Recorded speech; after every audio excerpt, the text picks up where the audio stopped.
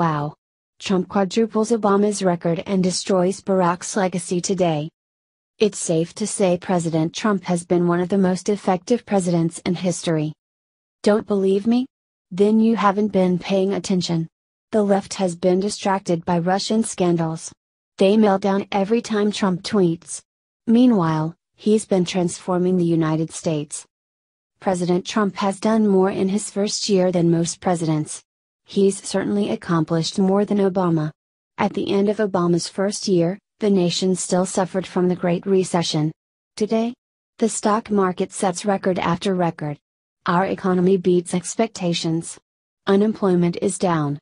Jobs are surging into the country. But there is another amazing achievement. One that simply destroys Obama's record. And the left is all but ignoring it. From Axios Senate Republicans on Thursday confirmed President Donald Trump's 12th Federal Appeals Court nominee, setting a record for the most circuit court picks confirmed in a president's first year. Why this matters the federal courts carry significant weight in almost every area of policy gun rights, executive power, LGBT rights, freedom of religion, etc., and have blocked multiple Trump initiatives in his first year. Trump's picks of young, conservative judges for the lifetime appointments will far outlast his presidency. Former President Barack Obama successfully appointed three appeals court judges in his first year in office in 2009, as well as Supreme Court Justice Sonia Sotomayor.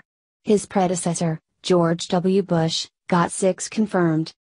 President Trump has appointed four times as many judges than Obama. Why is this so important? These judges will serve for a lifetime. That's at least 30 years, or more. They will decide crucial matters that affect every one of us.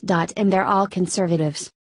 Smart Democrats are deeply concerned about this trend, and understand that these lifetime judicial appointments will have a much greater impact on the future direction of this country than any short term spending deal or policy.